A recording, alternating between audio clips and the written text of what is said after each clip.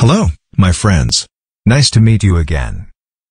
There is a semicircle with six points A, B, C, D, E, F on its arc. A and F are also the endpoints of the diameter. In addition, there are other three points, O, P, and Q, on the diameter. We construct four triangles by connecting these points. It is known that these four triangles are all isosceles triangles. And they are all similar to each other. Then, how big are their vertex angles? Why not give a try, and we will come back soon.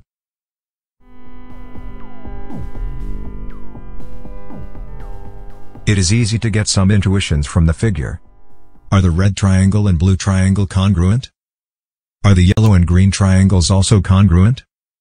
So is point P the center of the circle? If all the answers are yes, we should be able to solve this question easily. So let's prove these assumptions one by one. First, let's prove that the red and blue triangles are congruent. To do this, we connect B, F, and E, A, respectively.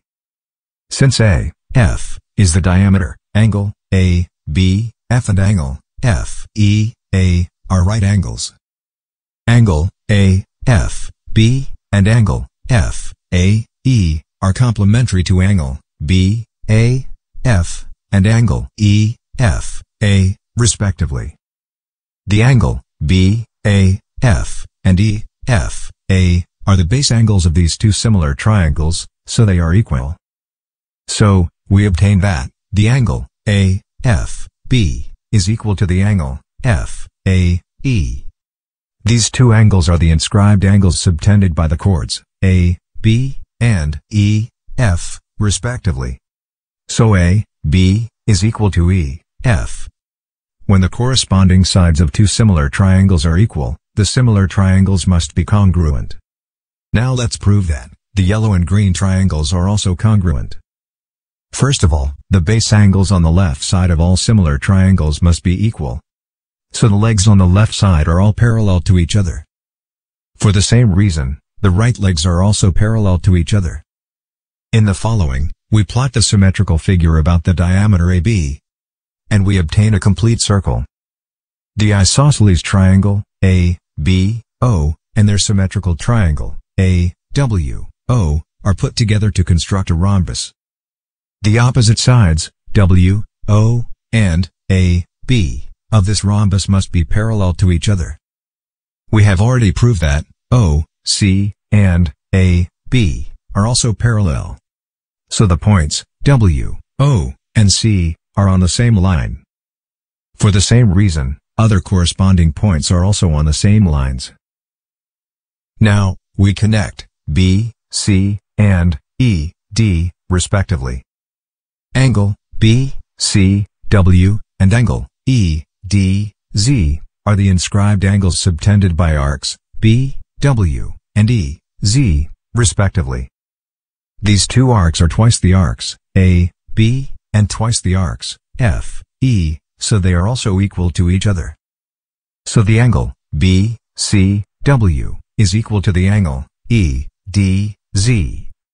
According to the properties of parallel lines, the angles B, O, C, and E, Q, D, are equal to the vertex angles of these similar triangles, so they are also equal. So triangle, B, O, C, and triangle, E, Q, D, are similar. Don't forget that, B, O, and E, Q, are equal. So triangle, B, O, C, and triangle, E, Q, D, are actually congruent.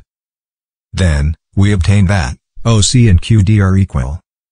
So the yellow and green triangles are also congruent. With these two sets of congruence relations, we get AO and QF are equal. OP and PQ are equal. So P bisects this diameter, and it must be the center of the circle. With these conclusions, the remaining problems are easily solved. Due to the existence of the parallel lines, there are already too many angles in the current figure that are equal to the vertex angles of the similar triangles. For example, the angle C, P, D, which is also the central angle subtended by the arc CD. Other examples include the angle A, W, C, and the angle F, Z, D, which are the inscribed angles subtended by the arcs AC and the arcs FD, respectively. They are all equal to the vertex angles of the similar triangles, and of course equal to each other. So arcs AC and arcs FD are both equal to twice the arc CD. Then the arc CD is equal to one-fifth of the semicircle. The angle CPD is therefore equal to 180 degrees divided by 5, which equals 36 degrees. In fact, points B, C, D and E divide this semicircle into five equal parts. That is easy to prove, right? Thank you for watching, and see you next time.